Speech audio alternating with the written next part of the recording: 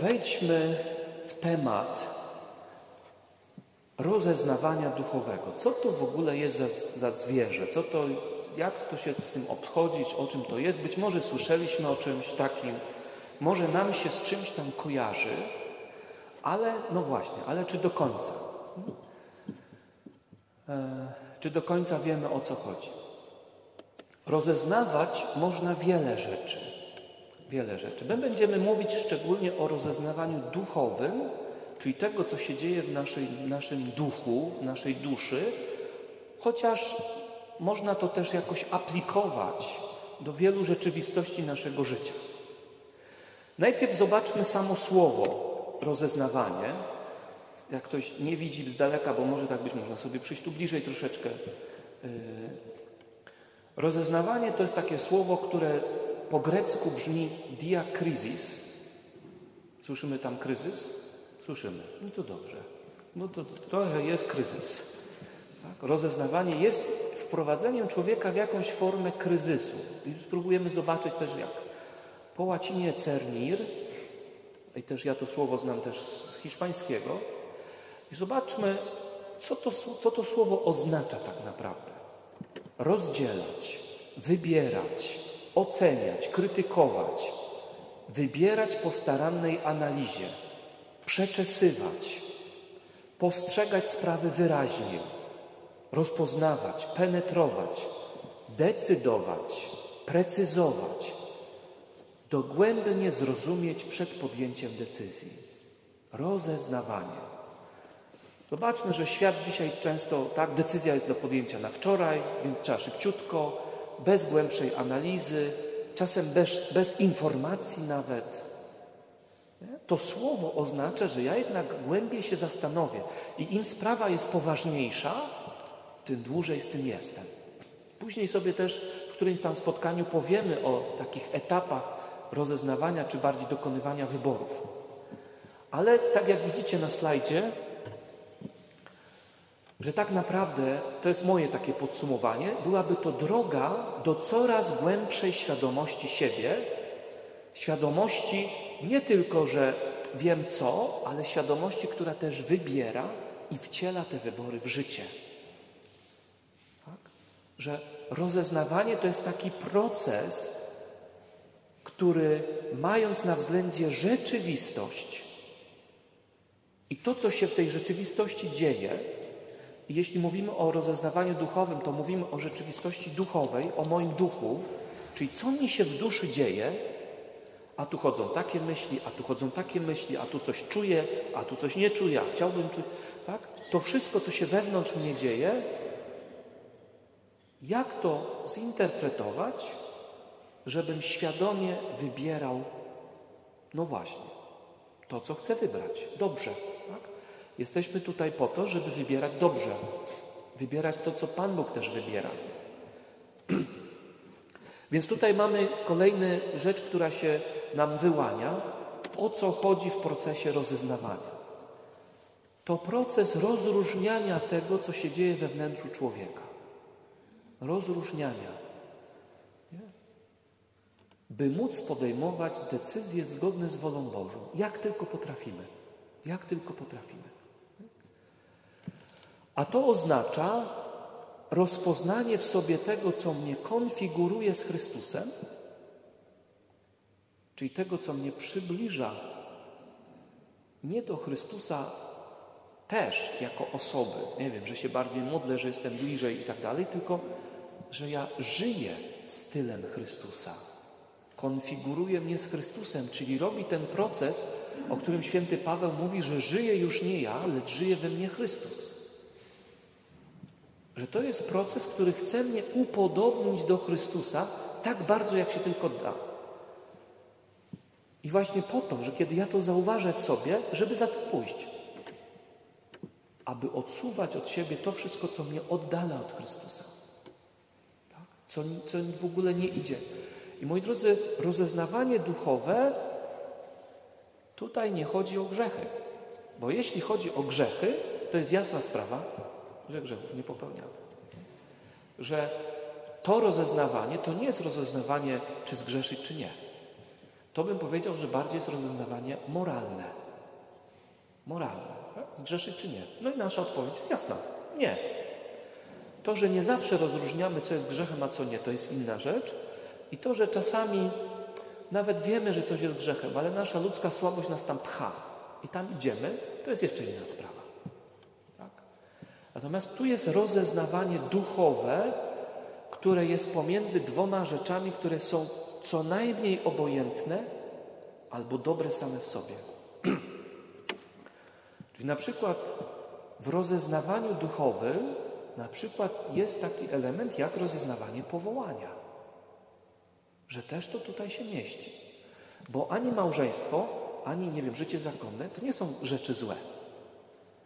W rozeznawaniu duchowym nie chodzi o to, co wszystkich od Chrystusa oddala, tylko co mnie mogłoby oddalać.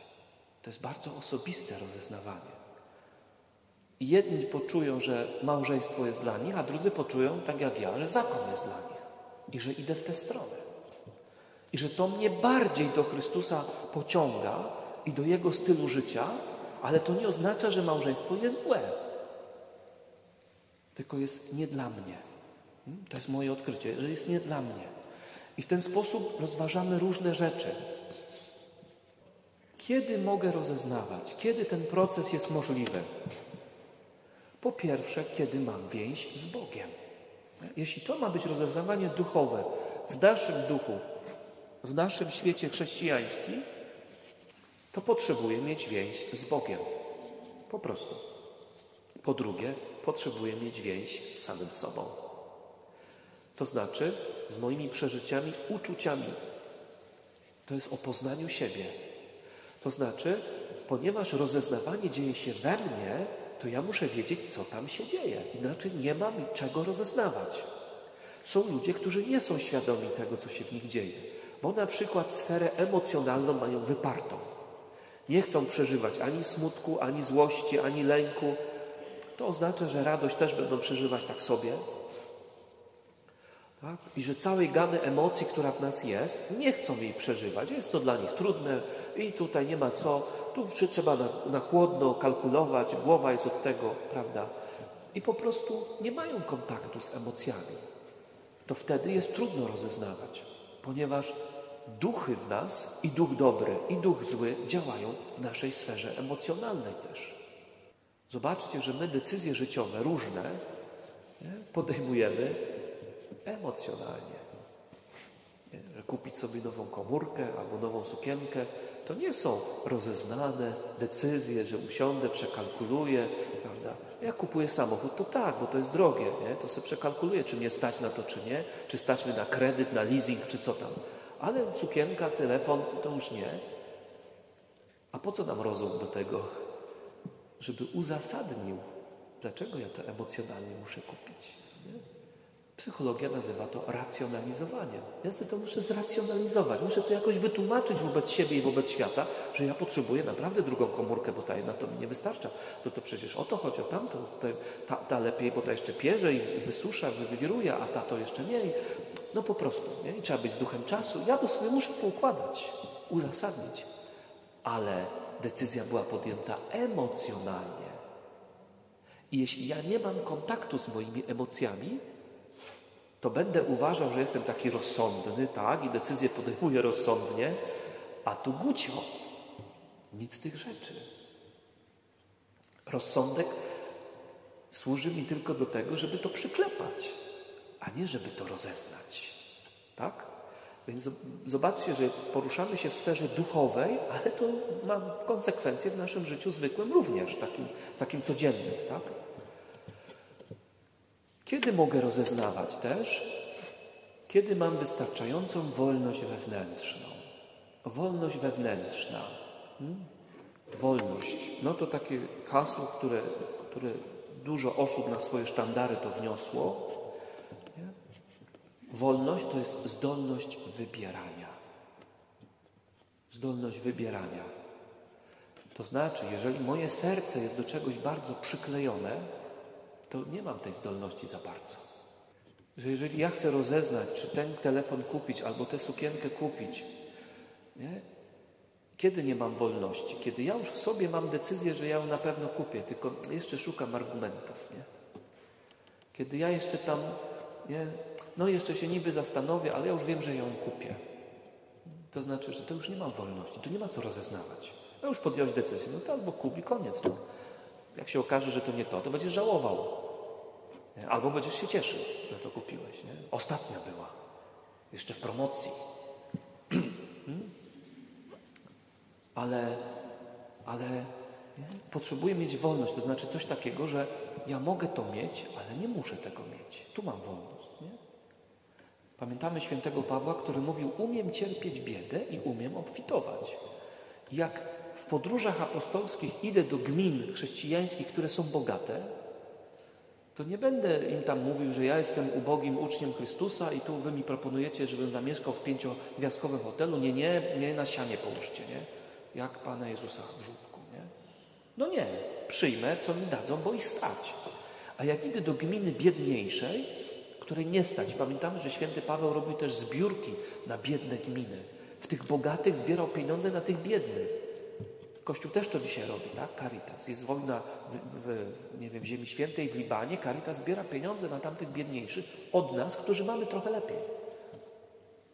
To Paweł nie mówi, ale słuchajcie, ja jestem jednym z pierwszych apostołów, co mnie chcecie na sianie położyć, ja tu po prostu przynajmniej taki standard potrzebuję, wiecie, czterogwiazdkowy. Paweł tak nie mówił. Paweł miał wolność do tego, że gdzie szedł i gdzie go przyjęli, to tak przyjmował. No my tutaj, większość jest starszego pokolenia, my do, do, do poczciwej pralki Frani już byśmy raczej nie wrócili. Nie? Czyli obfitować to umiemy, ale cierpieć biedę to już tak trochę mniej. Nie, nie mamy w tym wolności. A do rozeznawania, e, w tej materii, w której to, co dotyczy rozeznawania, ja potrzebuję mieć jakąś wolność. Że nie ma co rozeznawać nawet na przykład powołania, czy zakon, czy nie, czy, żo, czy żo, żona albo mąż, jeżeli ja, ale ja przecież ja, jak bez żony, jak, przecież ja za dziećmi tęsknię, to nie ma co rozeznawać. To tylko rozeznaj, czy z Kasią, czy z Marysią po prostu. Bardziej kochasz tą, czy bardziej kochasz tą. Ale nie, że zakon. Po co ci to rozeznawać zakon? Tak? Jak twoje serce jest i tak już przy małżeństwie. I są tacy ludzie, wiemy o tym dobrze, że od początku życia wiedzą, że to jest pielęgniarka z powołania. Nie? I już prostu. Zobaczcie, kiedy jest, mogę rozeznawać, kiedy mam zdolność do zatrzymywania się i do refleksji. No bo do tego potrzeba się zatrzymać. Ale co się tak naprawdę tu dzieje we mnie, że ja potrzebuję tu wybierać? Co tu się dzieje? Ja muszę usiąść i o tym pomyśleć, zastanowić się, zatrzymać się. I to jest trudna sztuka dzisiaj, bo świat dzisiaj pędzi i my razem z nim. To, że nas tu jest tak dużo, to się bardzo cieszę. Tylu nam się udało zatrzymać. Na tę godzinkę więcej może niż zwykle. I jestem, mogę rozeznawać też wtedy, kiedy nie czekam, nie będę czekał na szybkie efekty. Znów zależy, czego to dotyczy. Ale kiedy zgodzę się na powolny proces i na drogę rozwoju. Bo rozeznawanie to ostatecznie chodzi o moją relację z Bogiem. No bo skoro celem rozeznawania jest to, żebym ja podejmował decyzję zgodnie z wolą Bożą, to tą wolę Bożą potrzebuję jakoś poznawać, jakoś. A, a jak najlepiej poznać wolę Bożą? Jak chcecie poznać moją wolę? Czego ja chcę? Musicie przyjść i mnie zapytać. Nie? A niektórzy szukają woli Bożej tak, że ona jest może w lesie ukryta pod kamieniem, jak y, te sprawności harcerskie się zdobywa. Nie? Trzeba po lesie pobiegać, gdzieś pod którymś kamieniem włożyli taką kartkę. Nie. Mogę iść do Pana Boga i powiedzieć, Panie Boże, a czego Ty pragniesz? A to jest, nie jest łatwo się okazuje, bo łatwiej nam powiedzieć Ojcze Nasz, zdrowaś Mario, koronkę do miłosierdzia, litanie i to wszystko inne nam łatwiej powiedzieć zapytać, Panie Boże, a jak Ty się masz dzisiaj? Dzień dobry. A jak ja się mam? Powiedz mi. Powiedz mi, jak wygląda nasza relacja. Powiedz mi, czego Ty pragniesz ode mnie. Trudno nam rozmawiać z Panem Bogiem, jak święty Ignacy mówi, jak przyjaciel z przyjacielem. Rozeznawanie jest wtedy możliwe, kiedy ja jestem z Nim w kontakcie takim. Bo wtedy ja mogę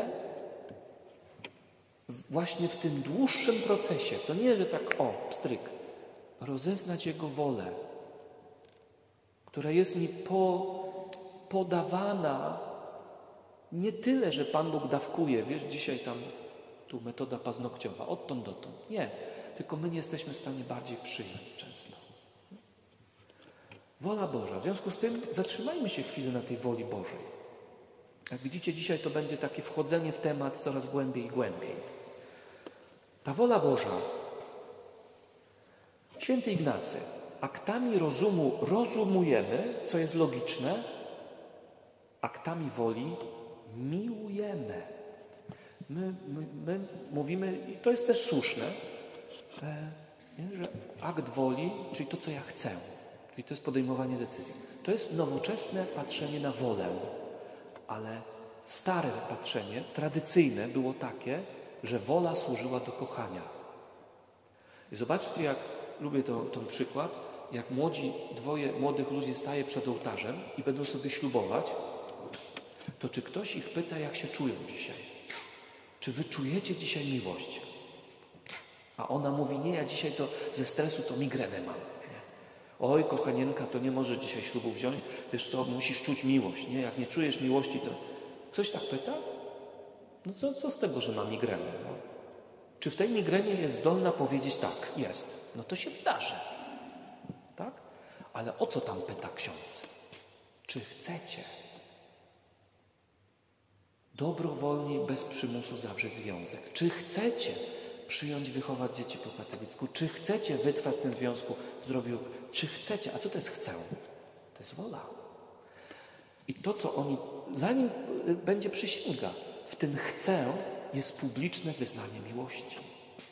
To jest publiczne wyznanie miłości. Ja chcę. To, że oni sobie tam na spacerku, na randce mówią to miłość innymi słowami, mm, mm, mm, to przemilczymy, jakimi mogą sobie to mówić, to jest ich sprawa, to publicznie mówią chcę. Ja Ciebie chcę. Po hiszpańsku to jest jedno słowo, dlatego tam jest prościej. Że chcę i kocham to jest jedno słowo. Ja Ciebie chcę oznacza równocześnie ja Ciebie kocham. I Pan Bóg, kiedy coś chce, to po pierwsze to kocha i po drugie to się staje. Bóg rzekł i stało się. I widział Bóg, że było dobre. Dobre nie moralnie, tylko cudownie, że to istnieje. Cudownie, że ziemia zaistniała. Cudownie, że są zwierzęta na ziemi, że jest morze, że jest dzień i noc. Cudownie. Bóg chciał to. Powiedział słowo. To się stało i Bóg to kocha. I to się dzieje w jednym momencie, w jednym akcie. Co to znaczy? I tu mamy na tym slajdzie, że wola Boża polega na tym, że on coś chce i cały się angażuje, żeby to się stało. Rzekł i stało się. W to, co kocha. To znaczy, jego wolą jest najpierw jego zaangażowanie w moje życie. Ja sobie sam życia nie dałem. Przyszło od Boga przez rodziców. Może znamy takie hasło świętego Augustyna: kochaj i rób co chcesz. Kochaj i rób co chcesz. Ale przetłumaczmy je trochę bardziej na polski, niż tak potocznie to rozumiemy. Nie? Kochaj i rób co chcesz, no to niektórzy, prawda, rób sobie co chcesz, nie? Będeś kochał. No to ja tu czuję motylki, to dzisiaj będę robił co chcę. Może nawet kogoś zabiję, nie wiem, ale to z miłości przecież oczywiście, nie? Otóż nie. Znów, ponieważ tu jest tak dla Polski gra słów, chcę i kocham, kochaj i rób co chcesz oznacza kochaj i rób to, co kochasz. Zaangażuj się w to, co kochasz. Bóg angażuje się w to, co kocha. Kocha człowieka, to się w niego angażuje. Daje mu życie, podtrzymuje jego życie, daje mu istnienie, wszystko. Więc wolą Bożą jest najpierw jego zaangażowanie w moje życie, miłość do mnie. I wiecie, o miłości już napisano tyle książek, ciągle o tym mówimy i to, jak wiemy, ciągle, ciągle potrzebujemy to powtarzać, po prostu. Wola Boża. Może tak przejdziemy to Dużo tekstu może być mniej widać, ale tak? Więc pełnić wolę Bożą to jest najpierw słuchać i przyjmować to, co On czyni dla mnie, co On mówi do mnie.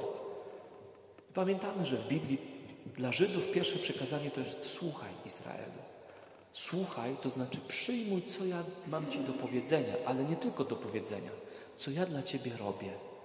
Słuchaj całym sobą, cały bądź uchem, nasłuchującym, Można zapytać, dobrze, jak pełnić wolę Bożą, bo słuchać to jest jedno, a teraz jak to w działaniu? Ta znana nam przypowieść o talentach. Słudzy dostali wielki majątek, puścili go w obieg. Skąd wiedzieli, co mają z tym zrobić? Bo jak poczytamy, Pan im nie powiedział, co mają z tym robić. Dał im majątek i wyjechał.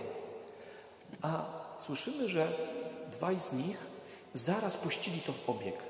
Skąd wiedzieli, że to mają robić? Może widzieli to wcześniej u swojego Pana. W związku z tym, skoro Pan miał taki wielki majątek i jakoś go zdobył, to może to jest o tym, że trzeba Pana naśladować. I co robi Jezus, kiedy przychodzi? Co chwila mówi, pójdź za mną. Patrz na moje życie. Nauczycielu, gdzie mieszkasz? Chodzi, zobacz. Chodzi, zobacz. Ucz się przez to, że jesteś ze mną i wracamy do relacji z Bogiem. Rozeznawanie jest możliwe wtedy, kiedy ja jestem z Nim w ciągłej więzi, kontakcie. Kiedy wpatruję się w Niego i Go potem naśladuję. Potem. I to jest pierwsze. Słuchać, a potem naśladować. Zobaczmy, zobaczmy y, Marta i Maria. Marta i Maria. Maria wybrała lepszą cząstkę, mówi Pan Jezus, ale to jest tylko cząstka. Całość to jest i Maria, i Marta. I słuchanie, i działanie. I słuchanie, i naśladowanie. Wszystko jest potrzebne. Ale nie w takim kluczu, jak to robiła Marta. Troszczysz się i niepokoisz o wiele. Robisz wszystkiego po prostu. Wola Boża więc to miłość Boga do mnie, która chce się ukonkretnić w moim życiu. I teraz ja słucham w moim sercu, jak Pan Bóg by chciał to ukonkretnić i co ja mogę zrobić z tym. I to jest ważne, to już o tym mówiłem, że On to robi, szukam woli Bożej zawsze dla mnie. To jest tutaj wytłuszczone tak na niebiesko, nie? a nie dla innych. Ja nie szukam woli Bożej dla innych, bo każdy ma inną. I dla dwóch osób to mogą być zupełnie dwie różne rzeczy. Ja szukam dla mnie. Jak ja mam bardziej kochać? Jak ja mam być bardziej podobny do Boga? I ja drugiemu mogę pomóc, pokazać kierunek, ale ja za niego tego nie wymyślę. I kiedy ja mu powiem, słuchaj, rób tak jak ja, to powiemy, jesteś fałszywym prorokiem. Nie, nie da się, żeby dwóch miało tak samo. Ja ci mogę powiedzieć, jak to jest u mnie, i wiesz, ja do tego doszedłem tak i tak i tak. Możesz robić podobnie, ale ty musisz znaleźć swoje. To znaczy, że rozeznawanie to odkrywanie w sobie i interpretowanie głosu Boga. Jego słowa, który do mnie mówi na różne sposoby. Co mi mówi? Żyj, rozwijaj się, kochaj, tak jak ja. Ale dla ciebie to będzie tak, a dla tej drugiej osoby to będzie tak. Dlatego, że Bóg jest tak przeobfity, jeśli tak można w ogóle powiedzieć. Tak? Jest tak kreatywny, że nie tworzy jak z fabryki. Takie same, wszystkie takie same. Nie? Uszy takie same, nosy takie same. Nie, każdy ma inne. Dlatego policja ma łatwiej, bo może, prawda, odciski wziąć i każdy jest inny. To tylko ten jeden ma tak. A, już go mamy. Wolność. O tej wolności tam mówiłem na początku, więc teraz trochę to uszczegóławiamy. Tak? O woli Bożej już powiedzieliśmy. Wolność. Wolność najpierw to jest przyjmowanie rzeczywistości z tym, jaka ona jest. I z tej rzeczywistości ja mogę wybierać to, co mnie, mnie osobiście bardziej prowadzi do pełnienia woli Bożej. Ja mam zdolność do wybierania tego, co prowadzi mnie bardziej do dobra, do, do piękna, do miłości. Czyli i tutaj jest napisane takie, objawia się swoistym dystansem do stworzeń, Stwo, swoistym. To jest ciekawe. Wiecie, to jest trudne napięcie. To, to rodzi w nas napięcie. Z jednej strony wszystko mówi, że mamy mieć więzi i mamy mieć więzi, mamy być przywiązani do ludzi, bo miłość jest formą przywiązania, a z drugiej strony jest o pewnym dystansie. I to chodzi o to, żeby z jednej strony nie budować murów, a z drugiej strony nie zlewać się. Że jednak ja i drugi człowiek, ja i ten świat jesteśmy odrębni. Nasze serce ma niestety taką, niestety, niestety taką właściwość przyklejania się do różnych rzeczy. I osób też. I wtedy możemy tracić wolność. Wtedy możemy tracić wolność. Tak jak tu też jest napisane, jest zdolnością do wybierania, a nie robienie, co mi się podoba. Nie? Wolność to tak my czasem myślimy, o, no, co tam uważam. Nie jest tym samym, co swoboda. Nie? Ja mogę siedzieć w więzieniu i być człowiekiem wolnym. Bo ta wolność, jak mówiłem wcześniej, to również zdolność do przyjmowania rzeczywistości. Jestem wolnym człowiekiem, kiedy nawet siedzę w więzieniu. Ja się zgadzam na to, że tam siedzę, bo skoro nabroiłem, mnie złapali, to siedzę. A nie uważam, że tam same niewiniątka siedzą w tym więzieniu. Nie? Ja też jestem tam niewinny. Ja siedzę za niewinność. Większość ludzi siedzi w więzieniu za niewinność przecież, nie? A tych, którzy czują, że tam są winni, to powinni ich wypuszczać, żeby nie demoralizowali tych niewinnych, co tam siedzą. Nie? Zobaczmy, serce przyklejone do czegoś w sposób nieuporządkowany, czyli mam więzi, ale nieuporządkowane, nadmierne więzi. Nie? Można mieć taką więź z pieniądzem, że już naprawdę człowieka nie widzę. Nie? I po trupach byle tylko więcej. Nie? To o tym jest mowa. Nie? Mogę mieć taką więź ze swoim zdrowiem nieuporządkowane, że się stanę, jak to mówimy ładnie, hipochondrykiem. Tak? Że ja już wszędzie widzę choroby, wszędzie trzeba dbać o siebie i też drugi człowiek mnie nie obchodzi. Nie? Tylko jaki to ja biedny, ja ciągle chory, ja ciągle, prawda? I, I tak, nie? Mogę mieć taką więź ze swoim rozumem, że ja zawsze mam rację. I nie gasznę, co ty gadasz. Nie? Choćby zjadł całą encyklopedię, a ja był po prostu nie, czysty jak łza w tym mózgu. Ja i tak mam rację. Ja i tak mam rację. Nieuporządkowane przywiązania, nie tylko do pieniądza, nie? do rzeczy niematerialnych też mogę być przywiązany. Nie? I mogę być przywiązany do osoby. Nazywamy to na przykład nadopiekuńczością, tak? Matki wobec dziecka. Matka ma mieć więź z dzieckiem i to głęboką więź. I ma tę więź. Ale jak jest coś ponad to, to może być już, wiemy, że dzieci czasem terapeutycznie potrzebują się leczyć z nadopiekuńczości swoich rodziców. Czasem to trwa do końca życia rodziców, a nawet dłużej. Nie chcieli ich wypuścić z rąk. Co z tego, że ty masz y, żonę, syneczku, ale pamiętaj, mamusia jest najważniejsza. Nie? Co mamusia ci powie? Przecież to ja cię nosiłam w brzuchu, to ja cię tu wykarmiłam, wychowałam, tak? Nie, to nie o tym. I serce, które jest w taki sposób nieuporządkowane, nie jest zdolne do wybierania, bo zawsze będzie skręcać w tę stronę, do czego jest przyklejone. A nie, że wybieram to albo to, tylko nie, zawsze skręca w tę stronę. To nie, to nie ma wolności. Wolność więc jest kompasem życia. I ten przykład mi się bardzo podoba, ten obraz, kompas. Zobaczcie, kompas bierze, mm, jest tak zrobiony, tak, że, że pole magnetyczne Ziemi bierze nie, za swój. I kiedy jest po prostu dobrze ustawiony, to pokazuje na północ. Ale spróbujcie przyłożyć choćby mały magnesik do kompasu. Igła zaczyna wariować. Już nie pokaże północy. I teraz, jeśli ja nie mam wolności, to moja, to tak jakbym przyłożył magnesik, który mnie przykleja się do mnie. I igła mojego życia zaczyna wariować. Nie pokazuje północy, nie pokazuje Boga, nie pokazuje wolności, nie pokazuje prawdy o mnie, tylko zaczyna tam szukać sobie po bokach. Dobrze. Zróbmy kolejny krok. Powolny proces rozwoju, o tym też mówiłem, o tym powolnym procesie. Bo to rozeznawanie służy osobistemu rozwojowi. I w nim chodzi o przemianę mojego serca. To nie, żebym ja jednorazowo tylko wybierał, za, nie wiem, drogę Chrystusa, tylko żebym ja codziennie w moich wyborach szedł za Chrystusem. To jest powolna droga. I nie chodzi tylko o zmianę zachowań, że ja taki się stanę grzeczny. Tylko chodzi o zmianę mojego serca. To, co napisałem, zmiana zachowań bez zmiany wewnętrznej, to czasem jest tak, człowiek stanie się poprawny, ale nie przemieniony. Nie będzie nowy człowiek, tylko będzie ciągle stary człowiek. I ta droga wspiera się na takich dwóch filarach, których w najbliższym czasie może nie powiemy, ale możemy kiedyś do tego wrócić. Porządkowanie serca, choćby od tego, co jest nieuporządkowane, i szukanie tej woli Bożej. Coś, co nazwałem tu mistyką. Chodzi o zjednoczenie z Bogiem.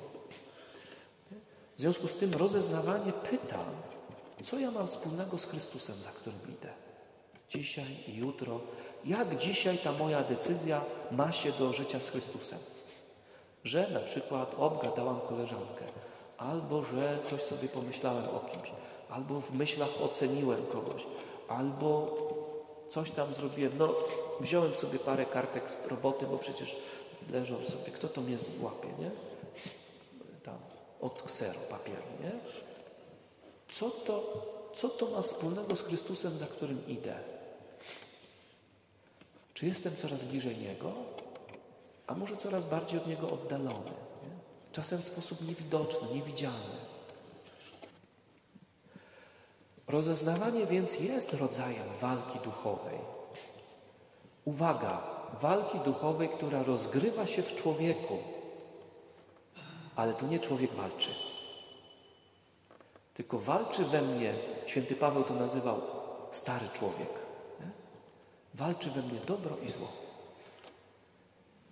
Święty Ignacy mówi, to potem też będzie na którymś slajdzie, nie wiem czy dzisiaj akurat, nie, że są we mnie trzy rodzaje myśli. Jedna jest moja własna, a dwie pochodzą z zewnątrz. Jedna od ducha dobrego, a druga od ducha złego. Jedna mi to do ucha mówi i druga mi do ucha mówi. I to one walczą o mnie. Dobry duch walczy o mnie i zły duch walczy o mnie. To nie ja walczę, tylko to się, ta walka się we mnie rozgrywa i chcą mnie zdobyć. A w jaki sposób zdobywają? Że ja się opowiem za jedną stroną albo za drugą i za tą stroną pójdę. Człowiek przez podejmowane decyzje opowiada się za którąś ze stron. I w związku z tym rozeznawanie to jest taki proces, taka, taki czas, w którym zanim podejmę decyzję, próbuję zobaczyć, co się we mnie dzieje, jak ta walka się tam odbywa we mnie. I zobaczcie, że rozeznawanie można by zamienić innym słowem interpretacja. Ja potrzebuję zinterpretować to, co się we mnie dzieje. To, co się we mnie dzieje. Że to, co przychodzi ze świata, poruszenia różne, no są jakie są. One przychodzą i nie są, nie muszą być moje. Ale to ja decyduję, co ja z tym zrobię. Ja nie mam wpływu, moi drodzy, na to, jak drugi człowiek się wobec mnie zachowa. My czasem walimy pięściami, złościmy się, pytamy, dlaczego mi to zrobiłeś, po co mi to zrobiłeś, o co ci... Mamy prawo pytać. Nie? Natomiast nie zawsze dostaniemy odpowiedź. Ten człowiek czasem sam siebie nie rozumie, a czasem nie powie nam dlaczego. Natomiast wtedy piłka jest po mojej stronie. To jest moja decyzja, co ja z tym zrobię, a nie, że cofnie się czas. To ja teraz mogę zdecydować, ale żeby zdecydować, to najpierw potrzebuję zobaczyć, zinterpretować to, co ja chcę zrobić.